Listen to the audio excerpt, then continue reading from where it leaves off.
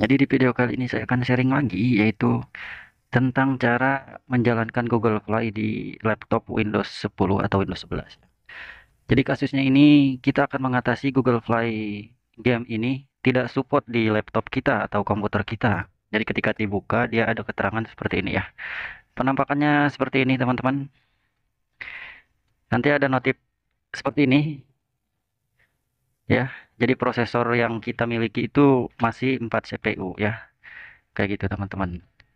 Namun jangan berkecil hati ya, kita akan mengatasinya. Silakan konekkan internet terlebih dahulu. Jadi kalau misalkan teman-teman belum download Google Play gamenya, silakan download di sini ya.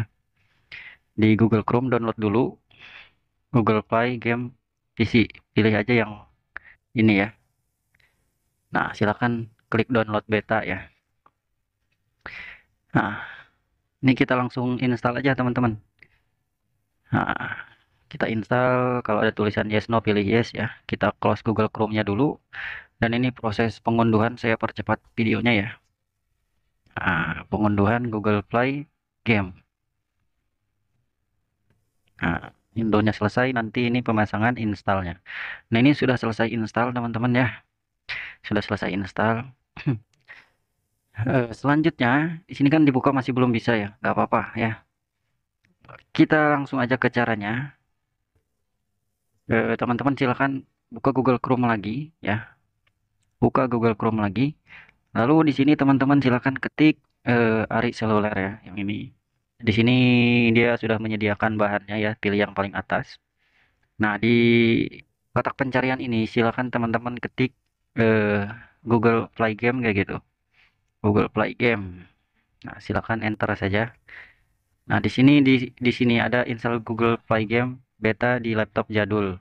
Misalkan laptop yang apa spesifikasinya belum memadai kayak gitu. Nah, ini silakan download aja ya. Download bahannya. Kalau udah terdownload, kita close lagi Google Chrome-nya. Selanjutnya kita buka ke file Explorer ya kita cari file downloadnya ini kita ekstrak dulu agar filenya menjadi folder terlebih dahulu ya ekstrak ya. Nah agar filenya menjadi folder dan bisa kita buka. Nanti ini registry update-nya ya silahkan di double klik aja lalu klik run. Nanti tinggal pilih yes aja lalu oke. Okay. selanjutnya buka service update di sini di blok aja silahkan klik kanan ya lalu copy copy terus kita close dulu file explorernya atau minimize juga boleh. Di sini di aplikasinya silahkan klik kanan lalu open file lokasi. Buka current ya terus buka service. Di sinilah kita klik kanan lalu paste. Seperti itu lalu refresh ya. Nah checklist dan continue. Ketika sudah di close lagi file explorernya ya eh, selanjutnya kita akan mencari Windows fitur ya di sini di kotak pencarian tulis aja fitur. Nah, di sini kan ada tulisan turn off. Turn Windows fitur on or off ya. Silahkan buka. Di sini teman-teman scroll ke bawah. Cari tulisan Windows mesin platform ya. Terus Windows supervisor ya, supervisor, supervisor ya. Di checklist dua-duanya lalu oke. Okay. Nanti akan ada pemberitahuan seperti ini dan dia akan meminta reboot. Reboot, restart ya. Nah, silakan di restart ya. Nanti ini saya akan videokan pakai handphone ya. Nah, karena ini agak lama jadi saya percepat aja videonya ya. Ini kan lagi update dia memulai konfigurasi agar bisa menjalankan Google Play Game aplikasi Android di laptop atau PC ya. Cara ini bisa untuk PC juga, komputer, laptop, merek apa pun ya, Windows 10 atau Windows 11. Nah, kita tunggu dulu teman-teman. Nanti ini sudah masuk desktop ya.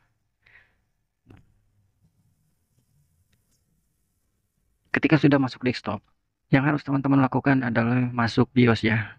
Klik restart namun saya akan ngasih tahu cara masuk BIOS di masing-masing laptop itu seperti apa. Saya akan tuliskan seperti ini. Laptop Lenovo menggunakan F2 atau FN dan F2 Acer F2 Asus F2 HP F10 PC ya atau komputer pakai delete merek lain-lain pakai F2 ya seperti itu. Ini tombol agar laptopnya atau PC-nya bisa masuk BIOS. Nanti di BIOS-nya akan kita setting virtual teknologinya menjadi on kalau misalkan virtual teknologi tidak disetting, maka cara ini akan gagal ya. Oke, teman-teman, kita masuk BIOS dulu ya. Berhubung ini laptopnya laptop Asus ya, jadi kita menggunakan tombol F2. Kita restart. Lalu langsung tekan-tekan tombol F2 seperti ini. Ya, nanti dia akan masuk ke settingan desktop. Untuk laptop Asus, eh, khusus Asus ya, ketika muncul desktop seperti ini, ini harus ditekan tombol F7 terlebih dahulu agar tampilannya berubah seperti ini ya. Nah, di sini kita arahkan pakai keyboard ya. Arahkan kita pakai arah kanan ke advance ya. Di sini kan ada tulisan Intel Virtual Technology ya. Ini tinggal teman-teman rubah atau ini PTD ya. Ini statusnya disable, statusnya mati. Kita rubah dengan enter ya. Enter. Nanti kita arahkan ini. Enter saja. Lalu pilih enable ya. Terus yang PTD juga kita enter lalu arahkan ke enable ya. Nah, kalau sudah silahkan tekan F10 untuk menyimpan settingan BIOS lalu enter. Nah, ketika sudah disimpan si laptopnya akan restart kembali. Perlu diketahui eh, laptopnya harus dalam keadaan charger ya agar tidak kehabisan baterai teman-teman. Oke teman-teman ini ditunggu saja ya. Tidak lama karena ini saya percepat videonya ya agar tidak terlalu lama. Nah, sudah masuk desktop. Oke. Kita langsung jalankan aja ya, klik dua kali. Nah, ini layarnya hitam ya. Kalau misalkan layarnya hitam kayak gini, berarti dia belum mau kebuka.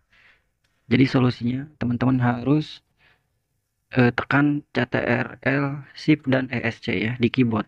CTRL, Shift, ESC barengan di keyboard. Nanti dia akan muncul tampilan seperti ini. Silahkan klik tanda panah yang kecil ya. Di sini. Lalu teman-teman cari tulisan Google Play Game. Nah ini.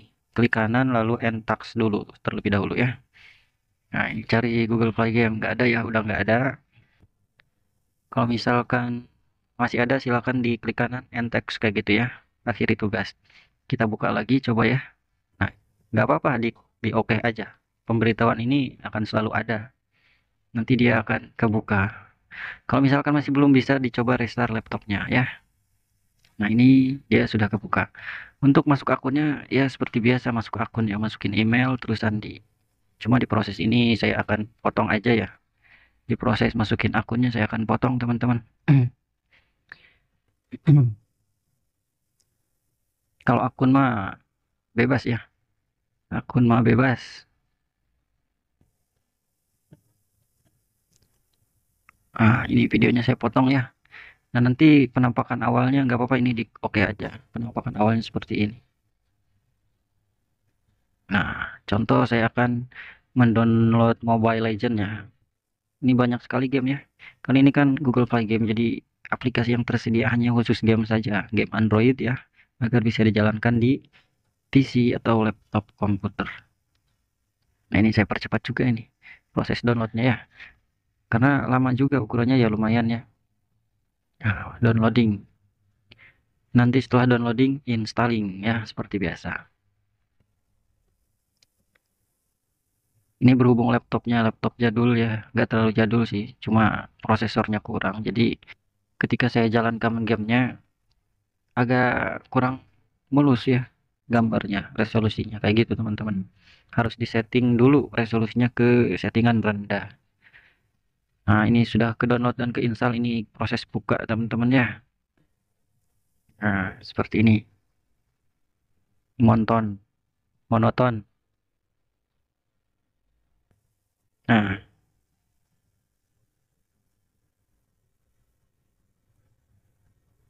Kayak gini teman-teman. Cuma saya bingung apa kalau main game Mobile Legend di PC ya. Suka belepotan gitu mau jalan pun nggak bisa. Biasa di handphonenya. Seperti ini aja teman-teman ya tutorialnya. Terima kasih sudah hadir sudah mampir ya. Jangan lupa like subscribe channelnya. Nah, tapi kalau misalkan nggak mau subscribe juga nggak apa-apa ya. Sudah hadir pun sudah terima kasih. Setelah teman-teman eh, semoga bermanfaat ya. Kalau misalkan dia belum paham boleh bertanya di kolom komentar. Cukup sekian. Assalamualaikum warahmatullahi wabarakatuh